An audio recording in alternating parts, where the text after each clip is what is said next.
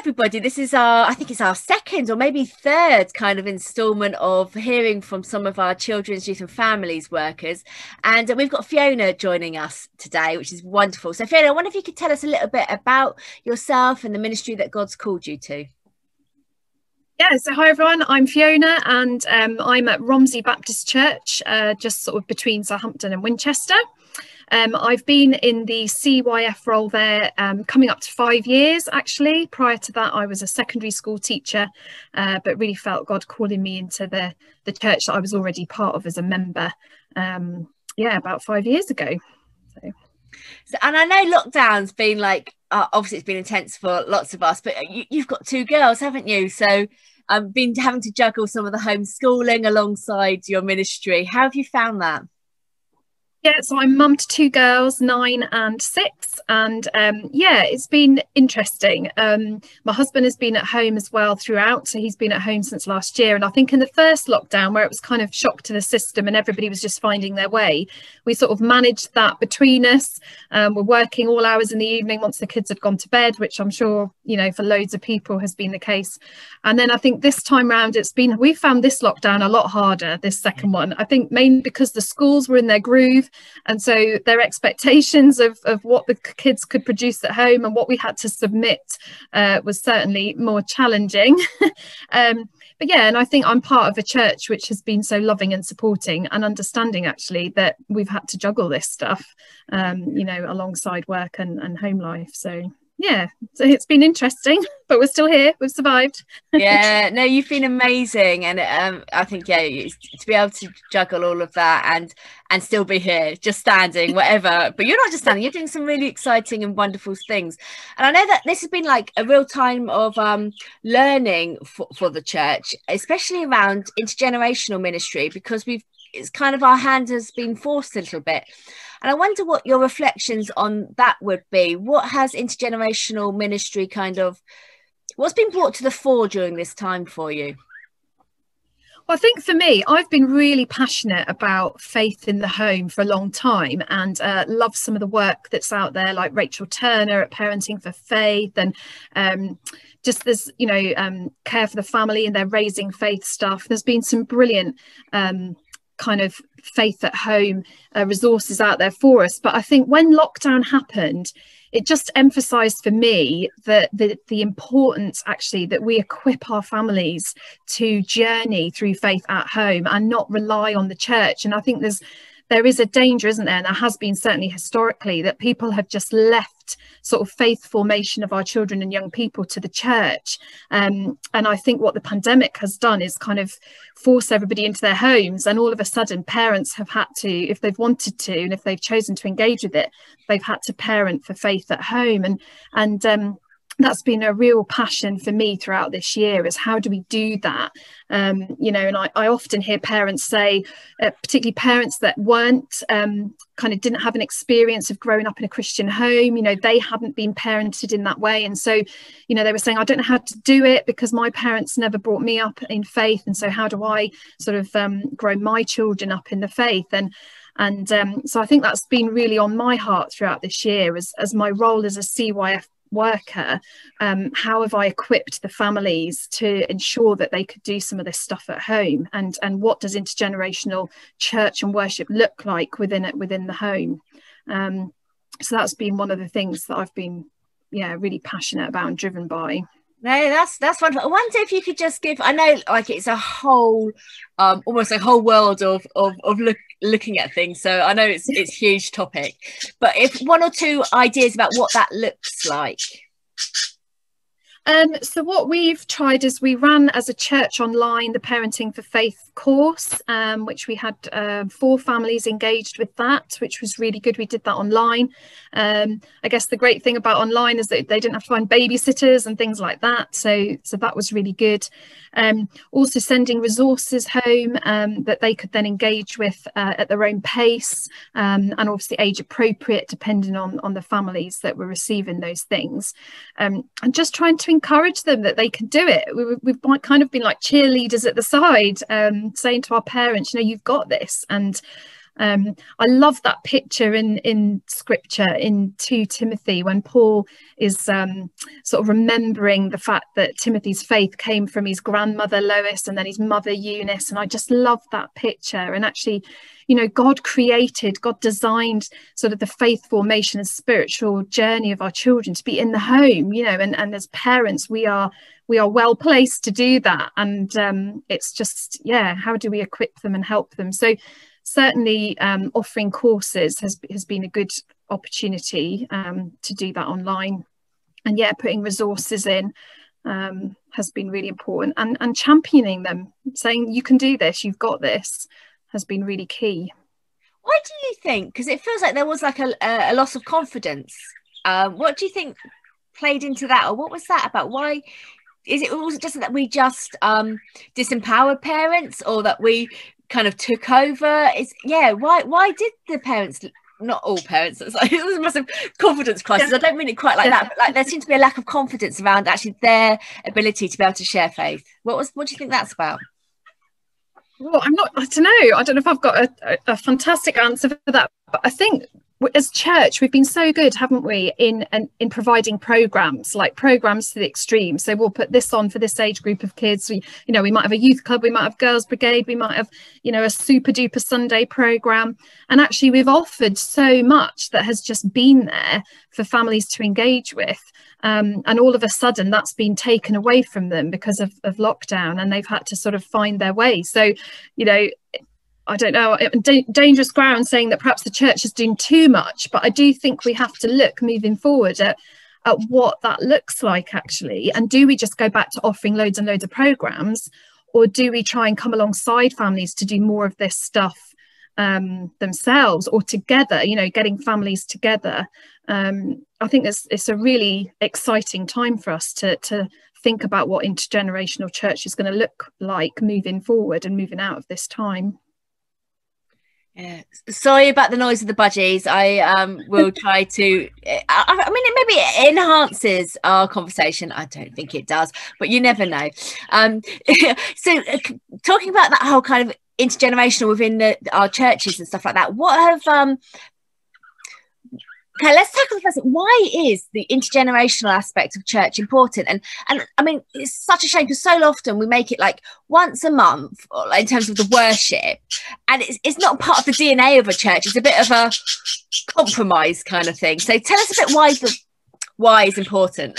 well, I think what's um, what we found at my church, and I, I, don't know whether this is across the board, but we really struggle with all age. I'll be really upfront and honest because it doesn't cater for everybody. Um, you'll get sort of a certain group sat there kind of cringing. Um, you'll get parents kind of, you know, all age supposed to be sort of free, and it doesn't matter if the children are running around making a noise, but parents are still there kind of thinking, oh no, it's my child, you know, banging on the back of somebody's chair. And I just wish they could go out to Sunday church or, you know, children's church, whatever you call it in your context context. Um, and so I think, you know, all age definitely has a place, but I think they're really tough. And I think lots of churches really struggle with them. But I think one thing that's really hit me about intergenerational church is the relationships. Relationships across the generations are so important. You know, quite early on in lockdown, I asked my six year old what she was missing most about the church fully expecting her to say the biscuits at the end. Uh, but she said, My hugs with Molly. Now, Molly is a lady in her late 70s in church, always has the biggest cuddles. And um, and my daughter, when she thinks of church, she has missed Molly's cuddles. And I think to me, that just spoke volumes about how important intergenerational relationships are um, in church. And um, I think it's how do we how do we build on that going forward? And actually, as a church, we're thinking in terms of sort of our leadership are starting to think about when we come out of lockdown, let's not rush into the busyness of church and programs but let's build relationships again um, and uh, you know and uh, another thing we've done uh, the guy that's kind of heading up a lot of our youth work at the moment he's encouraged our teenagers to start writing letters uh, to the older folk in our church. And it has been beautiful such a beautiful time. And the older folk have started replying and they're, they're now praying for each other. And and um, it's been a real time of opening up those relationships that perhaps we hadn't invested in as much prior to, to lockdown. Um, so I think that's that's one thing that you know we'll be looking at. Um, I think the other thing that we've done slightly differently is in the autumn when we were allowed to have a little bit of church again. Um, because we couldn't we didn't feel it was right to have children's church we brought families in for what we called family worship and families sat round a table together and they had everything that they needed on their tables for the sort of half an hour 40 minutes that we were together for. Um, and we it was just so refreshing to see families together worshipping together praying together opening god's word together having fun and games and doing silly challenges that hopefully the parents could then carry some of that with them uh, to home and, and sort of continue that throughout the week. Um, and that's been really valuable. And we're starting to hear now, aren't we? What are your COVID keeps going to be when we come out of lockdown? What will you keep? Um, and as a church, we've decided that they are that is going to be one of our COVID keeps because we've just found it so valuable to have families, and that's included grandparents. So we've definitely been multi generational in that. It hasn't just been parents and children; grandparents have come along too and um, and that chance to worship together. And we'd love to do more of that and see more of that as we move forward. Yeah, no, that's wonderful, and actually, and it's obviously as we can move forward and things get much more freer. Because um, I was like thinking, um, in, in, in my context, there's often um people that are friends of those with children, but they could join their table, couldn't they? Which just brings that sort of dimension to it as well. So those that may be single or, or, don't have children can be can be part of it if they if they want to be. And i love that what you're saying around it being around relationships um, and how key that might be. And there's loads of um, activities whether that's games or food which is often you know is, is intergenerational isn't it? Definitely. it has to be food walks when you know there's, there's so much that we can do that can build on that family and reminding us that it's not um worship obviously is important but it's it's not just that one hour on a sunday. It's it's so much of our, our lives. So there's so much opportunity there. Really love what you're you're saying um, around that. So what would you say to like ministers that are kind of trying to do it all and you know they're trying to do the online they're trying to do the the face to face and um and often actually and, and, they're just like kind of leaving the CYF stuff to the well the, the people that are on the team that might do that or the one or two people that are involved in that. What might they do to just make some changes I think it's about allowing space and allowing room for people to get together and and do that sort of intergenerational stuff. Like you said, whether it's a walk or whether it is on a Sunday morning, whatever it looks like. Um, and I think you know one of the sort of niggles that I've had at the back of my mind throughout as we've sort of started to set up family worship and talk about um, doing that a lot more is that we don't want to become divisive. We don't want to have this little pocket of families over here and then another pocket of another group over here doing their thing.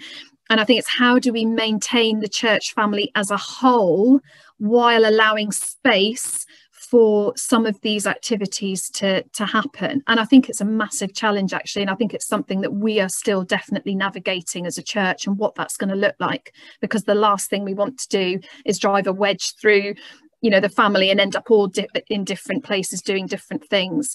Um, so i think i think that's you know something we're still figuring out but something that i think everybody has to be so aware of because that's the last thing we want to happen um, especially what we're aiming for is intergenerational relationships across the board um, and not just saying you know that's the youth stuff going on there and that's the family stuff going on there.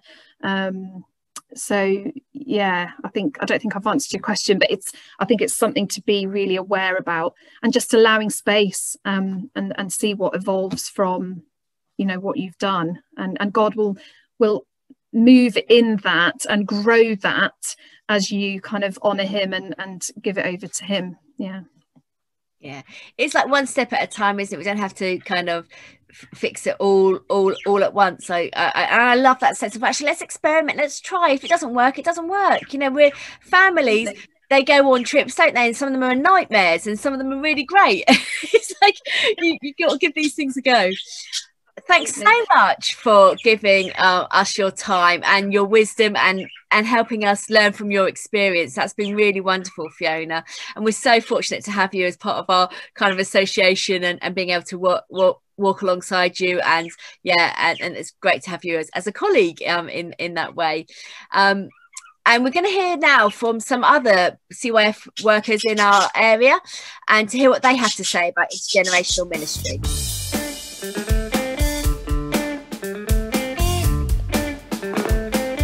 Showing a little clip of our church camp because I think for me as a child, just being with my church family, doing things as whole church, really helped my sense of belonging. It helped me work out my faith as I watched adults around me acting it out and I heard stories and maybe experienced God at work in ways that maybe I wouldn't have done at the time in kids' church.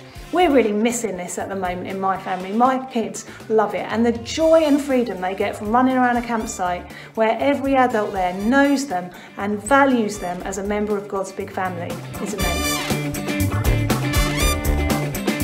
The church has become so good multi generational worship where people learn and are discipled in age appropriate groups. But intergenerational group worship is where it gets messy, um, quite scary to lead, and unpredictable. But we learn so much from worshipping with those of other ages uh, and serving with them.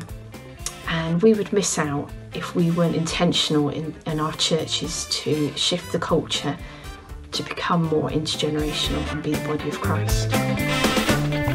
Intergenerational ministry in my context means probably two things for me at the moment. Firstly, dispelling myths like I'm too old to help with Sunday school, and going further and helping people into roles where they can serve people of different generations. Perhaps encouraging people to be spiritual grandparents to a family at church, uh, helping the church to be one family and united. Innovating new ways of doing church where we look to reach the younger generations and involve them in the life of our church helping change without dismissing people of other generations. Is a wonderful vehicle for intergenerational ministry. At Easter, two children um, whose dads already serves on the team came along to help. They were handing out Easter gifts to families who came to collect food and they loved it. They felt part of the team. And for some of our older youth and students who were perhaps feeling isolated at home during lockdown, they got an awful lot out of coming and serving regularly on that team. And my favourite um, experience of intergenerational ministry is Holiday Bible Club, where the team is drawn from across the generations in that single mission to reach children with the gospel but there's so much to gain from serving alongside one another, learning from one another, and, and having an awful lot of fun.